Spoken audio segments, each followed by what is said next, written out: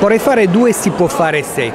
Il primo si può fare se si prosegue nella digitalizzazione del Paese, nella digitalizzazione della pubblica amministrazione. Si va avanti con i programmi di iscrizione online, di fatturazione elettronica, di anagrafe unica, di identità digitale. Questo è il primo si può fare se.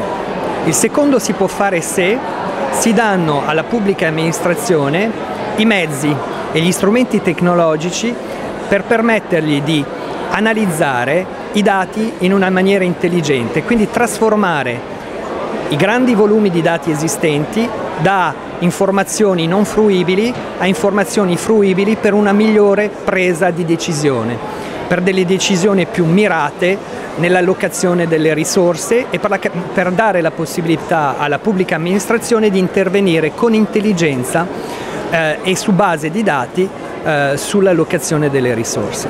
Questo è il si può fare se che secondo me è importante, supportare il fatto di continuare la digitalizzazione e supportare il fatto di dare gli strumenti alla pubblica amministrazione che gli permettano di prendere decisioni intelligenti.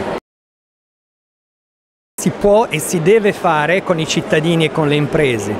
Bisogna mettere il cittadino al centro degli obiettivi della pubblica amministrazione, quindi si può fare con il contributo dei cittadini che capiscano che le spese che sono fatte sono fatte con intelligenza e sono fatte in una maniera trasparente, quindi si può fare con un monitoraggio, con un pilotaggio che è dato al cittadino e che permette al cittadino di vedere i risultati della spesa pubblica. Si può fare con un benchmark fra le, diverse, differenti regioni, fra le differenti istituzioni che permetta al cittadino di vedere il risultato eh, delle decisioni che sono prese eh, dal, dalla pubblica amministrazione. Quindi si deve e si può fare con il cittadino al centro del, delle preoccupazioni della pubblica amministrazione. E anche questo, come dicono gli americani, you can only manage what you measure, eh, l'obiettivo è veramente di dare gli strumenti del monitoraggio delle decisioni che sono prese,